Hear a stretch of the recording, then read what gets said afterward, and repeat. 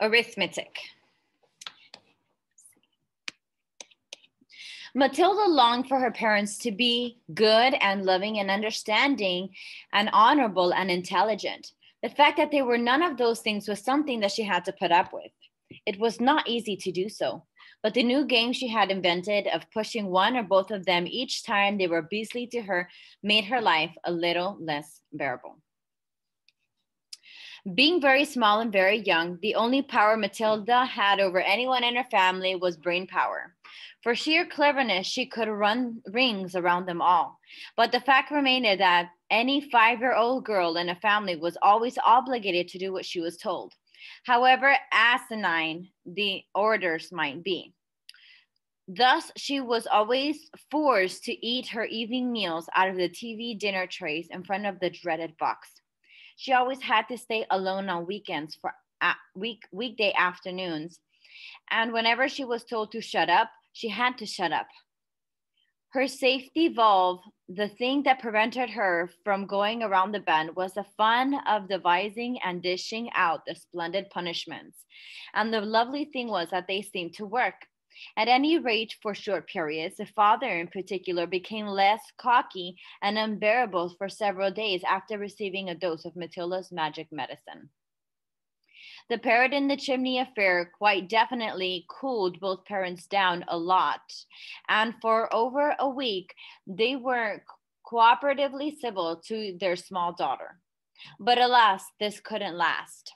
The next flare uh, came from one evening in the sitting room. Mr. Wormwood had just returned from work. Matilda and her brother were sitting quietly on the sofa, waiting for their mother to bring in the TV dinners on a tray. The television had not yet been switched on. In came Mr. Wormwood in a loud check suit and a yellow tie. The appalling broad orange and green check of the jacket and trousers almost blinded the onlooker. He looked like a low grade bookmaker dressed up for his daughter's wedding, and he was clearly very pleased with himself this evening. He sat down in the armchair and rubbed his hands together and addressed his son in a loud voice. Well, my boy, he said, your father's had a most successful day. He's a lot richer tonight than he was this morning.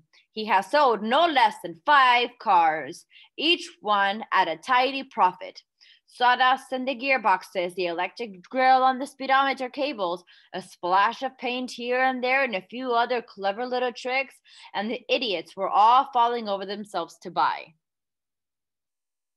He finished a bit of, a bit of paper from his pocket and studied it.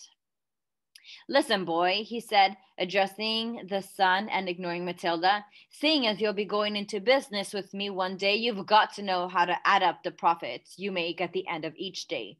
Go on and get yourself a pad and a pencil, and let's see how clever you are. The son obediently left the room and returned with the writing materials. Car number three cost me 100. Hold up, let me see. Mm-mm-mm. Hold up. I lost my place. Sorry, guys. Write down these figures, the father said, reading from his bit of paper. Car number one was bought by me for 278 pounds and sold for 1,425. Got that? The 10 year old boy wrote the two separate amounts down slowly and carefully. Car number two, the father went on, cost me 118 pounds and sold for 760. Got it? Yes, Dad, the son said. I've got that. Car number three cost 111 pounds and sold for 999 pounds and 50 pence. Say that again, the son said. How much did it sell for? 999 pounds and 50 pence, the father said. And that, by the way, is another of my nine little tricks to diddle the customer. Never ask for a big round figure. Always go just below it. Never say 1,000 pounds. Always say 999.50. It sounds much less, but it isn't. Clever, isn't it? Very, the son said. You're brilliant, Dad. Car number four cost eight, 86 pounds. A real wreck that was, and sold for 699 pounds 50. Not too fast, the son said, writing the numbers down. Right, I've got it. Car number five cost 637 pounds and sold for 1649.50. You got all those figures written down, son? Yes, Daddy, the boy said, crouching over his pad and carefully writing. Very well, the father said. Now work out the profit I made on each of the five cars and add up the total. Then you'll be able to tell me how much money your rather brilliant father made together today. That's a lot of sums, the boy said. Of course, it is a lot of sums, the father answered. But when you're in big business like I am, you've got to be hot stuff at arithmetic. I particularly got a computer inside my head. It took me less than 10 minutes to work the whole thing out. You mean you did it in your head, Dad? The son asked, Googling. Well, not exactly, the father said. Nobody could do that. But it didn't take me long. When you're finished, tell me what you think my profit was for the day. I've got a final total written down here, and I'll tell you if you're right. Matilda said quietly, Dad, you made exactly 4,303 pounds and 50 pence altogether. Don't butt in, the father said. Your brother and I are busy with that. But, Dad. Shut up, the father said. Stop guessing and trying to be clever. Look at your answer, Dad, Matilda said gently. If you've done it right, it ought to be 4,303 pounds and 50 pence. It is what you've got, Dad? The father glanced down at the paper in his hand. He seemed to stiffen. He became very quiet. There was a silence. Then he said, Say that again. 4,303 pounds and 50, Matilda said. There was another silence. The father's face was beginning to go dark red. I'm sure it's right, Matilda said. You, you little cheat, her father suddenly shouting, point, pointing at her with his finger. You looked at my bit of paper. You read it off from what I've got written here. Daddy, I'm on the other side of the room, Matilda said. How could I possibly see it?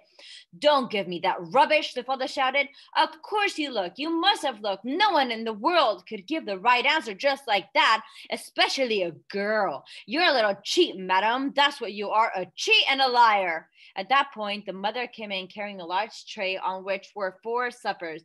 This time it was fish and chips, which Mrs. Wormwood had picked up picked up in the fish and chip shop on her way home from bingo. It seemed that bingo afternoons left her so exhausted, both physically and emotionally, that she never had enough energy left to cook an evening meal. So if it wasn't TV dinners, it had to be fish and chips. What are you looking so red in the face for? About Harry? She said as she put the tray down on the coffee table.